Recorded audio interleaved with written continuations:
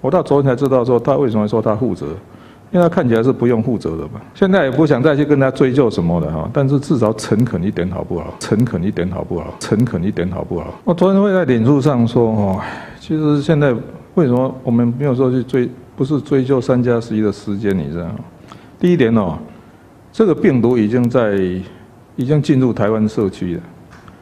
那其实我们花了三个月的时间呢，一直到今天，你知道，其实，在台北市每天还是有一到两名不明感染源所以，虽然经过我们的努力，你知道哈，这个病毒已经进入台湾社区，而且在社区里面还有潜伏的感染，这是一个事实。那也已经死了八百多人了。所以老实讲哦，事情都已经发生了，你知道哈。其实老百姓更想要知道说，你要下一步到底要怎么办呢？要怎么处理？所以我们是很认真的在说。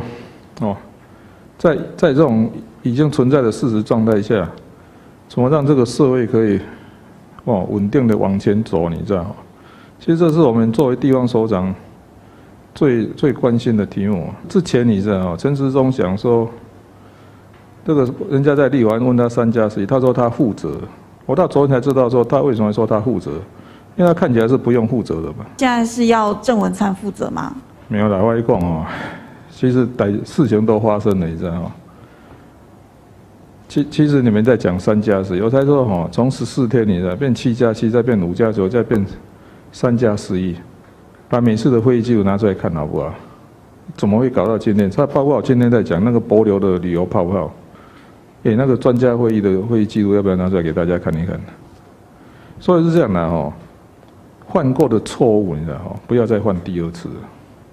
哦，还是要有科学的基础哦，所以我看很多东西，你知道，如果重来一遍，你知道，机组人员、机场人员应该第一次就把疫苗打完了，而且都是有这比照医院要打两剂，要先挡住的。很多东西都是事后，你知道，都知道是当时怎么，我们这种专家一看说奇怪，怎么这么留这么多破口在那里面？